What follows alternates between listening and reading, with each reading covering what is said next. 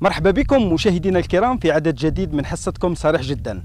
موضوعنا اليوم راح يكون حول منطقة القاعو التابعة لبلدية أم العظام جنوب ولاية الجلفة. هذه المنطقة اللي تتخبط في عديد المشاكل أبرزها غياب الغاز والكهرباء والماء ومشاكل أخرى نتعرف عليها في تصريحات سكان هذه المنطقة.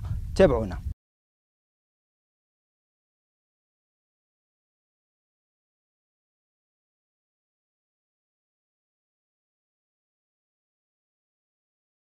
تريسيتي هنايا.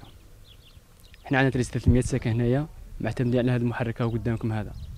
هذا المحرك عاد ست سوايع يمشي في النهار. لو كان يفوت ست سوايع راح يحبس معناها باتل الظلمة. إحنا منطقة القاعو هذه آه، منطقة نائية ما بالنسبة ل... بالنسبة للمشاريع وبالنسبة ل- للحكومة راه جينا اللجنات وراه جينا كلش بصح ما كاين لحد الساعة ما كاين والو. اليوم من هذا رانا نخدموا قبل الموتور.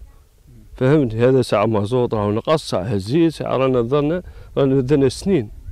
رانا رانا من من تسعة و- من 89 اليوم من هذا رانا في حزب الجروب التريسيتي ما كانش ولا والغاز ما كانش ولا والماء راه ناقص. لما لا والو جينا ماء ناقص وقلنا ما تشربوش مش صالح كاع للشرب راه جاينا 18 كيلو جعبة وتجي في الصدع وهلها قاعد تزول لك تشوف البني نتاعها عمومها من دقيقه بالطوب سمعني واللي يجي يقول أنا غدوة ولا بغداد نغنوكم نبنوكم قصر ومولي يروح من عندنا يدير الفطوات تاعنا يفرقهم على على يفرقهم من الجلفه ودير ليه وما يرجعناش لا راني نجيب لكم لا ماش نجيب لكم؟ ما تسعاش حاجة تريستي ما كانش.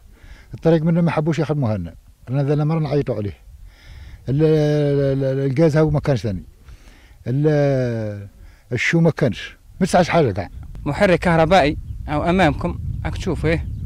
عندنا ست سوايع أو ثمان سوايع يشعلون في النهار علينا. ماهوش كافي منطقة كيما هذه ماهوش كافية. نطالبوا ب électricité عندنا طريق منا المصالح تاعنا كاع في مسعد والولاية. باش نروح نروحوا منا. 25 كيلو ما حبوش يخدموها لنا أنا عمري شحال؟ عمري 30 عام. عمري 30 عام. ملي عدت نشفى وأنا نسمع باللي هذا الطريق راه في الدراسة. منطقة معزولة معنا منطقة معزولة. وأنا نسمع بالطريق هذه في الدراسة. إلى يومنا هذا راهي في الدراسة. عندنا ال- القدر الرابط ما بين تقرت ومسعد عندنا بلاك رابعين ديما من مسعد بلاك رابعين رانا عندنا رانا في فايت فايت تقريبا 20 عام رانا نعانوا من هذا الطريق قلنا لهم خدموا لنا. تاع piste قاعدين فيها واحد 20 كيلو 22 كيلو. رانا نعانوا منها. إحنا الطريق من ناحيتين عندنا 26 كيلو. بينه وبين الله في 40 الطريق الرا- الطريق الوطني رقم واحد الرابط بين تقرت ومسعد هذه نطالبوا بها وطالبنا بها وأبائنا طالبوا بها والى يومنا هذا ما جسد والو. طفلة ملي تلحق هنايا الخامسة تريح ما كاين والو. كاينة مدرسة هنايا كاينة مدرسة في مول هشيم وأخرى في عرج بابر 5 كيلو. كي تلحق الطفلة الخامسة تروح. ذراريهم يجوا يقراوا ويروحوا شر. ما ما هم يعطون في والو.